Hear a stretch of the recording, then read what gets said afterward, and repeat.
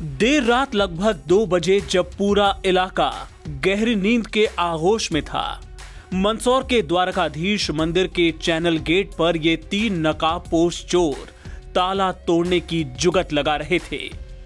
Channel के gate पर दो बड़े बड़े ताले लगे थे और चोरों को पहले से अंदाज़ा था कि ये ताले काफ़ी बड़े और भारी हैं। उन्हें किसी चीज़ से तोड़ना मुश्किल होगा।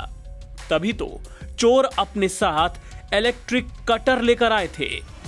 बिना देर किए, वे कटर से चैनल गेट पर लगे तालों को काटने में जुट गए।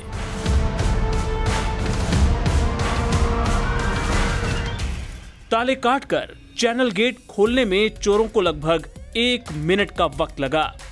चैनल गेट खुलते ही वे अपने असली टारगेट की ओर बढ़े। असली टारगेट यानी मंदिर की दान पेटी जो चैनल गेट के ठीक सामने यहाँ नीचे थी। चोरों ने सोचा था कि गेट तोड़ेंगे और दान पेटी ले उड़ेंगे। पर यह क्या? दान पेटी तो यहाँ पर इस तरह से फिक्स की गई थी कि उसे उठाना तो दूर, हिलाना तक मुश्किल हो रहा था।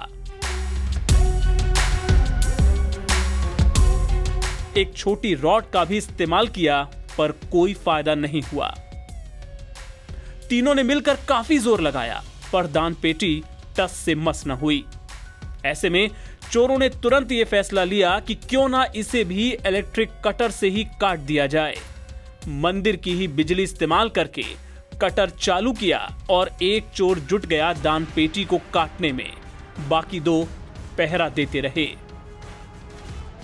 दान पेटी काफ़ी बड़ी थी और उसे पूरी तरह काट पाना काफ़ी मुश्किल था।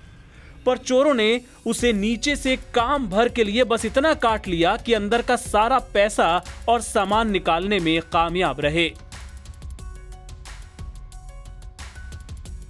वारदात को अंजाम देने के बाद चोर मौके से फरार हो गए और ये पूरी घटना मंदिर में लगे सीसीटीवी कैमरे में कैद हो गई।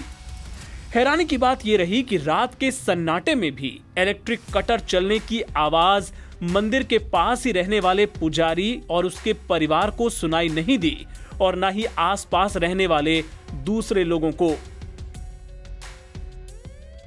पुजारी का कहना है कि सुबह जब वो पूजा के लिए मंदिर आए, तब उन्हें चोरी का पता चला। आपको बता दें कि जिस द्वारकाधीश मंदिर में ये चोरी हुई वो मंदसौर के मशहूर पशुपतिनाथ महादेव मंदिर परिसर के काफ़ी नज़दीक है। ऐसे में इसकी सुरक्षा को लेकर कई सवाल खड़े हो रहे हैं। दान पेटी में कितने रुपए थे? ये जानकारी अभी नहीं मिल पाई है। लेकिन बताया जा रहा है कि पेटी को काफ़ी समय से खाली नहीं किया गया था। ऐसे में माना जा सकता है कि चोरों के हाथ मोटी रकम लगी होगी। पुलिस अब उनकी तलाश में जुटी है। एनबीटी ऑनलाइन की रिपोर्ट।